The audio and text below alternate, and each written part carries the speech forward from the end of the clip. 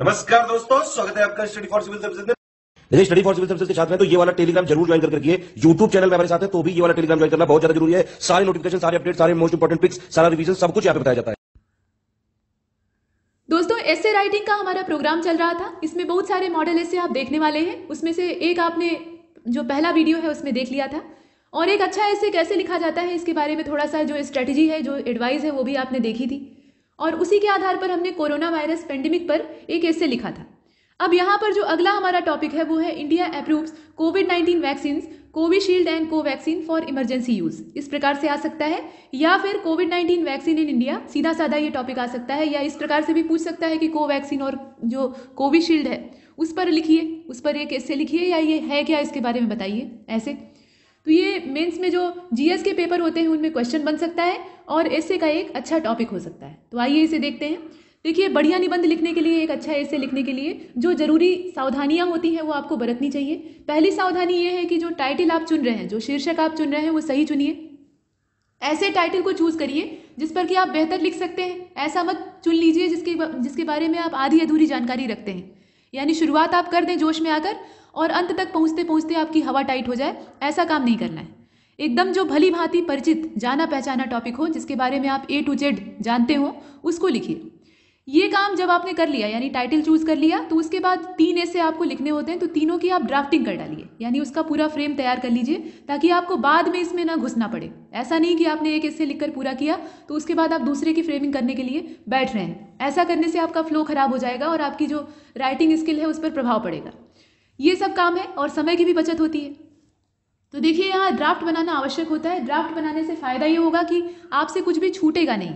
जो महारथी होते हैं अच्छा खासा निबंध लिख लेते हैं, वो ड्राफ्टिंग करने से बचते हैं कि इसमें समय की बर्बादी होती है। लेकिन मेरी सलाह ये है कि ड्राफ्ट सभी को बना लेना चाहिए क्योंकि इससे आप जितनी भी गैर ज़रूरी चीज़ें होती हैं मतलब जितनी भी बेकार चीज़ें हैं, उन्हें लिखने से बचते हैं और जितनी भी ज़रूरी आवश्यक सामग्री है, उसी को अपने निबंध में शामिल करते हैं। असल में यहाँ पर निश्चित शब्द सीमा है मतलब 700 शब्दों के अंदर ही आपको ढालना है, उससे थोड़ा बहुत 19-20 चलेगा, लेकिन उस वर्ड लिमिट के आसपास ही आपको रहना है। तो उतने में आप बहुत ज़्यादा नहीं लिख सकते। ऐसा नहीं कि अपने विचारों के विचारों के जो घोड़े हैं, उन्हें आपने खुला छोड़ दिया है और वो दौड़ रहे हैं, बेलगाम होके। ऐसा नहीं है। ऐसा अगर आप करेंगे तो एक ही ऐसे में आपका तीन घंटा समय जो है वो चला जाएगा। बाकी दो जो है वो ऐसे ही रह जाएँगे। ये काम नहीं करना है, प्रश्न छोड़ कर नहीं आना है, कतई नहीं। तो इसलिए ध्यान दीजिएगा कि ड्राफ्ट जब आप तैयार करें तो उसमें जितनी आवश्यक वस्तुएँ हैं उन्हें ही डालें। ये कुछ बातें हैं। अब यहाँ पे कोविड नाइन्टीन वैक्सीन जो इंडिया में आई मतलब अभी दो वैक्सीन है, उन्हीं के बारे में देखना है।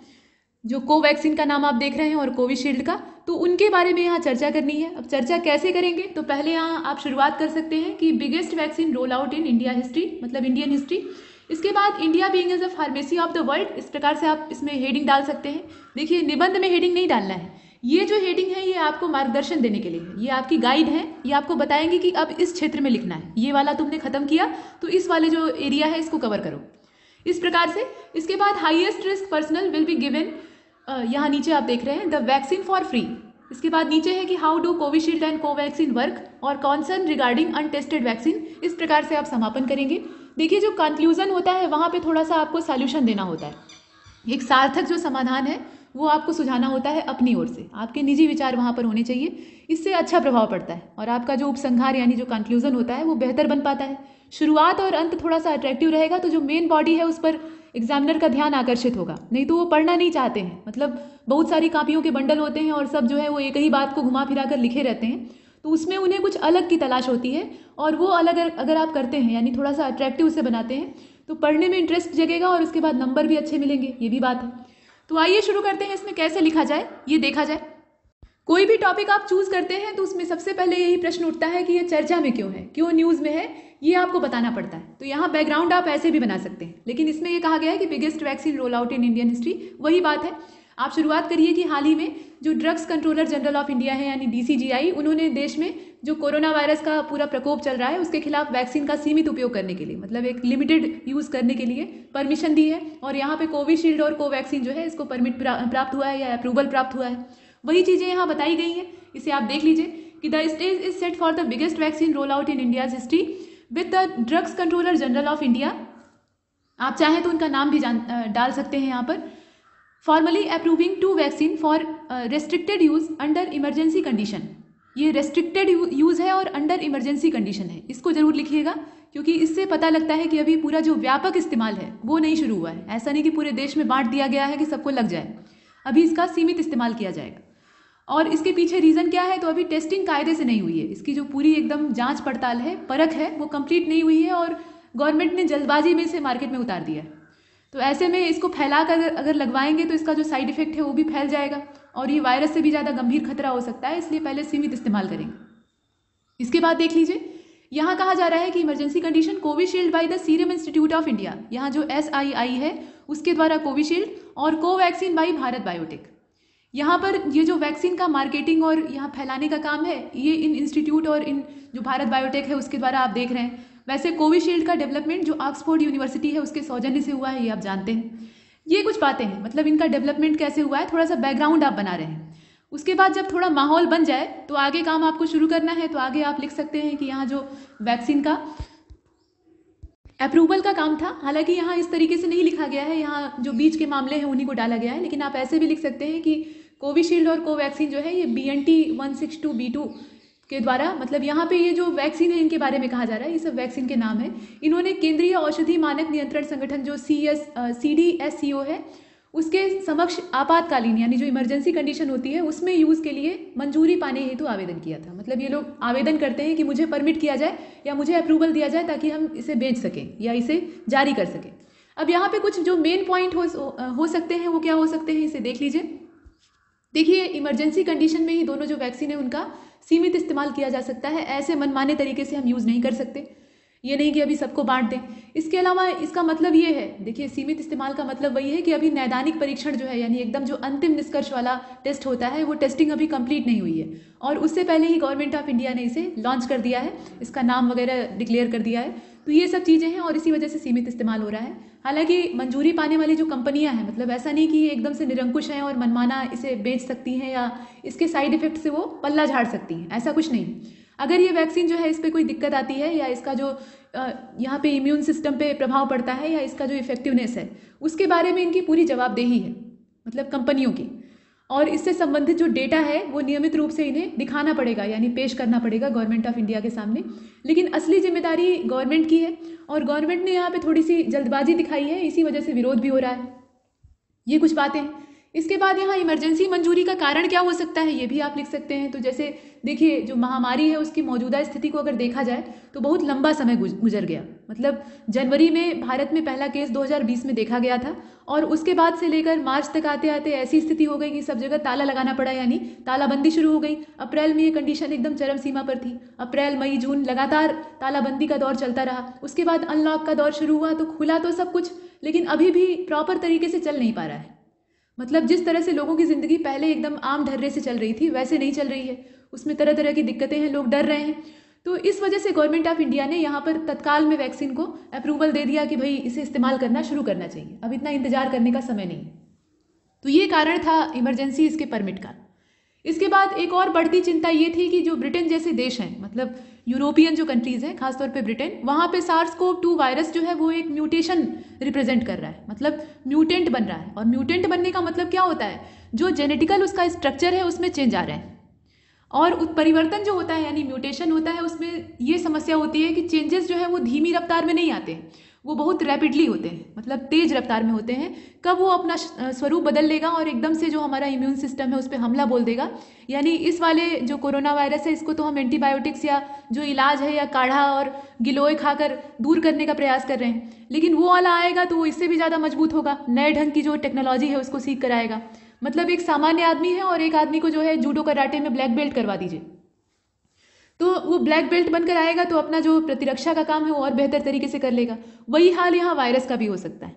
मतलब वो जो म्यूटेशन है, वो यहाँ भारत में भी आ सकता है, ये गवर्नमेंट की चिंता का विषय था। तो इसीलिए समय रहते पहले वैक्सीन का ट्रायल किया जाए और वैक्सीन सबको लगवा दी जाए ताकि लोग इसके प्रति प्रतिरक्षा अपनी डेवलप कर सकें।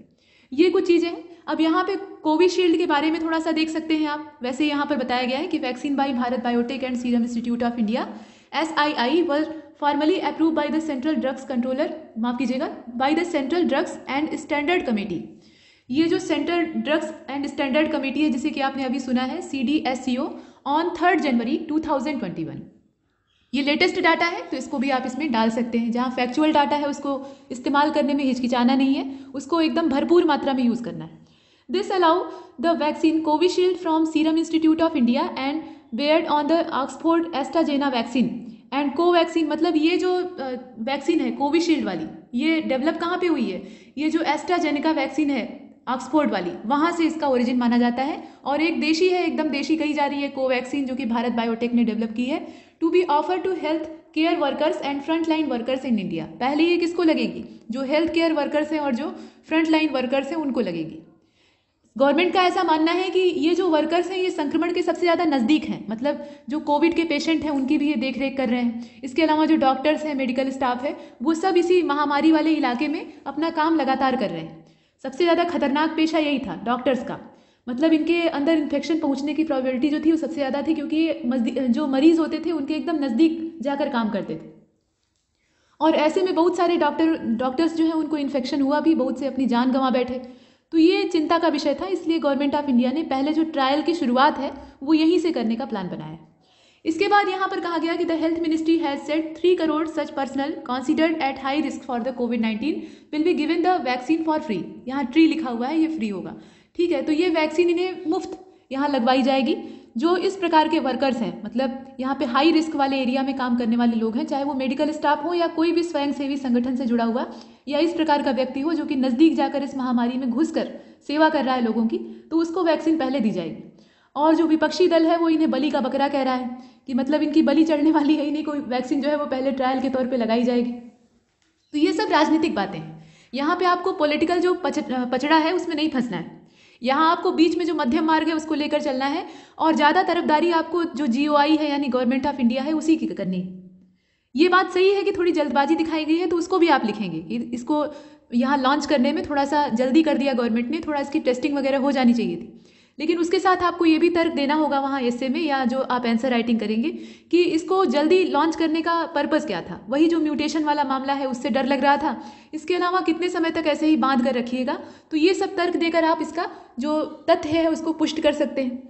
इसके बाद यहाँ नीचे और भी चीज़ें लिखी जा सकती हैं, जैसे कि यहाँ कहा गया है कि it is not yet known which vaccine will be made available to their personal through multiple officials roll out can be begin in less than a fortnight ये अलग अलग मत हैं लोगों के अपने अपने विचार हैं तो उसको आप लिख सकते हैं। तो यहाँ restricted use in emergency situation इसको लिख कर आप अपना काम समाप्त कर सकते हैं। मतलब यहाँ पे गवर्नमेंट ऑफ़ इंडिया का फेवर अगर आपको करना है और करना ही पड़ेगा तो ये वाली जो लाइन है, ये आपकी काफ़ी ज़्यादा मदद करने वाली है। इसके बाद चलते हैं आगे।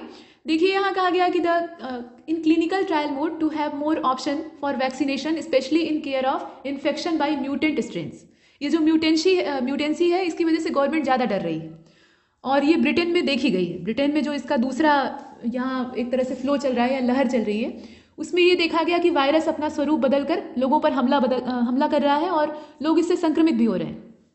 पहले तो ये धारणा थी, देखिए जब कोविड नाइन्टीन का प्रकोप फैला तो उस समय डब्ल्यूएचओ या जितने भी बड़े बड़े हेल्थ ऑर्गेनाइजेशन थे, उनका ऐसा मानना था कि ये कोरोना वायरस आधी से अधिक आबादी को पहले इन्फेक्ट करेगा मतलब अपने संक्रमण के दायरे में लेगा और उसके बाद उसमें से जितने भी बच जाएँगे मतलब जो एकदम कमज़ोर हैं वो तो मर जाएँगे, लड़ नहीं पाएँगे, लेकिन जो इससे लड़कर बच जाएँगे, ठीक हो जाएँगे, वो इस वायरस के प्रति अपनी इम्यूनिटी को डेवलप कर लेंगे, यानी उनका जो इम्यून सिस्टम है वो इनके प्रति ढल जाएगा, इन्हें अपने अंदर एक्सेप्ट कर लेगा, ठीक वैसे ही जैसे जुकाम का वायरस होता है राइनो वायरस जो कि जुकाम फैलाता है, वो भी तो वायरस जनित ही रोग है लेकिन वो ठीक हो जाता है कुछ समय बाद। हमारा फेफड़ा, हमारा जो रेस्पिरेटरी सिस्टम है, वो इसे एब्जॉर्ब कर लेता है। तो वही हाल यहाँ पे कोविड के साथ भी होगा। लेकिन ऐसा कुछ होने वाला है नहीं, ये गवर्नमेंट का कहना है, क्योंकि ये वायरस जो है, ये म्यूटेंट हो रहा है। मतलब अपना स्वरूप बदल रहा है और ये और ज़्यादा घातक हो सकता है। तो इसलिए समय रहते इसका ट्रायल करना चाहिए। ये कुछ तर्क है जिन्हें कि आप यहाँ यूज़ कर सकते हैं।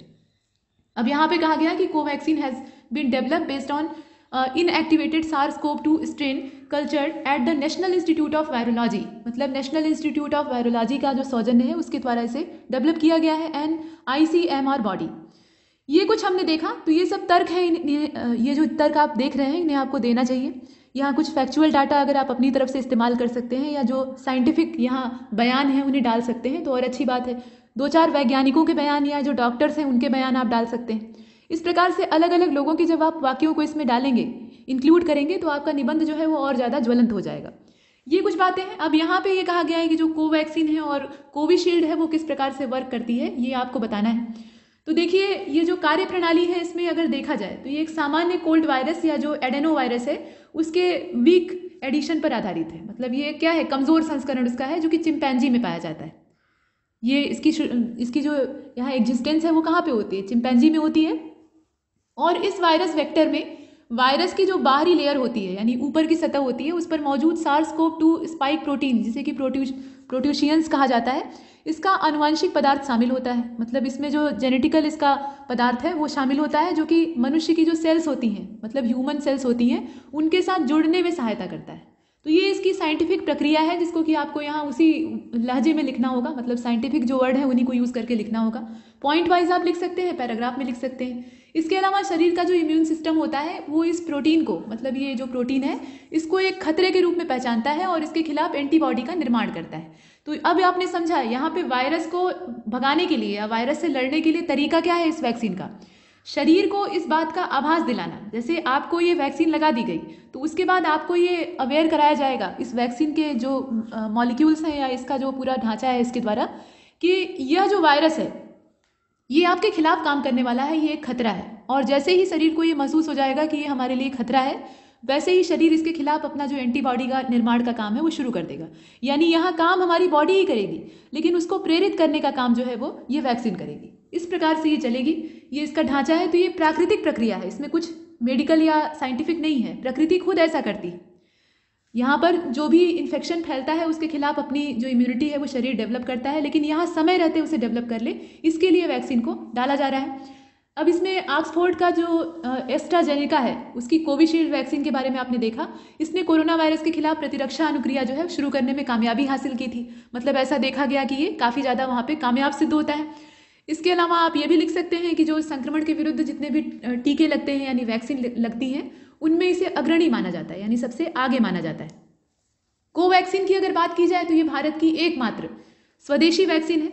विकास की अगर इसकी बात करें, डेवलपमेंट कैसा हुआ तो पीछे आपने देखा कि जो भारतीय चिकित्सा अनुसंधान परिषद है, यानी आईसीएमआर, और उसके अलावा वायरोलॉजी जो संस्थान है मतलब एनआईवी, उन दोनों के सहयोग से इसको डेवलप किया गया है। इसका डेवलपमेंट इन दोनों के सपोर्ट से हुआ है। कार्य पद्धति इसकी क्या है तो यह एक इनएक्टिवेटेड वैक्सीन है। ये जो कोवैक्सीन आप देखते हैं, ये क्या है? ये एक इनएक्टिवेटेड वैक्सीन है, जो कि रोग पैदा करने वाले जितने भी छोटे छोटे सूक्ष्म जीव होते हैं मतलब वायरस होते हैं, उनको निष्क्रिय करने के लिए विकसित किया गया है। ये क्या करेगा? उन्हें इनएक्टिवेट कर देगा, यानी निष्क्रिय कर देगा। इसके बाद इस टीके को विकसित करने के दौरान जो रोगजनक या सूक्ष्म जीवों के प्रति स्वयं प्रतिकृति बनाने की क्षमता है, उसको समाप्त कर दिया जाएगा। यानी वायरस जो है, वो अपना परिवार बढ़ाता है। जैसे एक वायरस आपके शरीर में गया तो वो वहाँ पे तेज़ी से बढ़ने लगता है, उसका पूरा कुंबा तैयार हो जाता है। तो उसको ये कंट्रोल करने में मदद करेगा। ये कोवैक्सीन का काम है, उसे आप देख रहे हैं। इसके बाद आप ये लिख सकते हैं कि इसका उद्देश्य जो न्यूक्लियोकैप्सिड प्रोटीन है, जो कि वायरस का आनुवांशिक पदार्थ का ऊपर का लेयर होता है, यानी आवरण होता है, उसके खिलाफ अपनी प्रतिरक्षा को डेवलप करेगा। असल में वायरस पे कोई असर क्यों नहीं पड़ता है? मतलब ये इतने ज़्यादा यहाँ जटिल क्यों बन जाते हैं? इनका इलाज जल्दी संभव नहीं हो पाता, क्योंकि इनका जो ऊपर का प्रोटीन है, जो कि इनकी अपर लेयर की रक्षा करता है, जिसको, जिस जिसके, यहाँ पे आप देख जिसको कि हम न्यूक्लियो कैप्सिड प्रोटीन कहते हैं तो उसके खिलाफ ये अपनी इम्यूनिटी को डेवलप करने में सहायता करेगा। यहाँ पे जो अच्छे अच्छे साइंस के शब्द हैं, उन्हें आप इस्तेमाल कर सकते हैं। इसके अलावा आप इसमें महत्व लिख सकते हैं तो महत्व क्या हो सकता है? महत्व ये हो सकता है कि भारत बायोटेक के द्वारा विकसित जो कोवैक्सीन है, ये ब्रिटेन में जो म्यूटेशन देखा गया वायरस में, और इस प्रकार के नए नए जो वायरसेस हैं, उनके खिलाफ काफ़ी ज़्यादा इफ़ेक्टिव होगी, ऐसा माना जा रहा है, क्योंकि इसमें स्पाइक प्रोटीन के अलावा अन्य जीनों के जो इम्यूनोजेंस हैं वो भी शामिल किए गए हैं। ये इसमें प्लस पॉइंट है तो ये लड़ने में इस जो वायरस के खिलाफ लड़ाई है, उसमें इसकी मदद करेगा। ये कुछ बातें हैं, और इम्यूनोजेंस क्या होता है, ये थोड़ा इसमें सीखने वाली बात है। तो इम्यूनोजेंस जो है, एक प्रकार का उत्प्रेरक होता है, जो कि, जो प्रतिरक्षा तंत्र होता है, यानी इम्यूनिटी सिस्टम होता है, और इसके अलावा जो सेल मेडिएटेड इम्यून होता है, उसके खिलाफ अनुक्रिया यहाँ उत्पन्न करता है। और कोवैक्सीन को जो परमिट प्राप्त हुआ है, उससे ये मामला सामने आता है कि भारत के पास एक सुरक्षा प्रणाली मौजूद है। सबसे मुख्य बात यही है। अभी तक हम लोग क्या थे? असहाय स्थिति में थे, यानी हमारे पास कोई रास्ता नहीं था। जाएँ तो कहाँ जाएँ? घर में रहने और मास्क मुँह पर लगाए रहने के अलावा कोई विकल्प नहीं था। लोग एकदम मजबूर हो गए थे, लेकिन अभी हमारी मजबूरी जो है वो कम होती हुई दिखाई दे रही है, क्योंकि हमारे पास इलाज है। जैसे आपको सर्दी जुकाम होता है तो आप एंटीबायोटिक्स लेते हैं, हालाँकि वायरस को एंटीबायोटिक्स मार नहीं सकती, लेकिन धीरे धीरे उसका जो इन्फेक्शन है उसको कम कर देती हैं, ये बात है। वैसे ही बुखार होता है तो आप क्रोसिन खा लेते हैं। मतलब आपको एक संतुष्टि होती है, जैसे बुखार हुआ है तो मेरे पास दवा है, क्रोसिन हम खा लेंगे या कैलपॉल खा लेंगे तो इससे वो ठीक हो जाएगा। ऐसा आप सोचते हैं और ठीक भी हो जाता है। तो वही हाल यहाँ पे इस वैक्सीन का भी है। लोगों के अंदर एक मानसिक संतोष और थोड़ी सी शांति रहेगी कि हमारे पास इलाज है। ये सब चीज़ें हैं। और इतना अगर आप लिख देते हैं तो ये सफिशियंट माना जाएगा। कुल मिलाकर इसमें ज़्यादा आपको जो इधर उधर की बातें हैं, वो लिखने की बजाय इस चीज़ पर फोकस रहना है कि इसका पूरा सिस्टम क्या है। यानी कोवैक्सीन और जो कोविशील्ड है, ये किस प्रकार से वर्क करती है, इसके अंदर ऐसा क्या है कि ये वायरस के खिलाफ लड़ने में हमारी सहायता कर सकती है। तो इसमें इतना ही, और तब तक के लिए नमस्कार।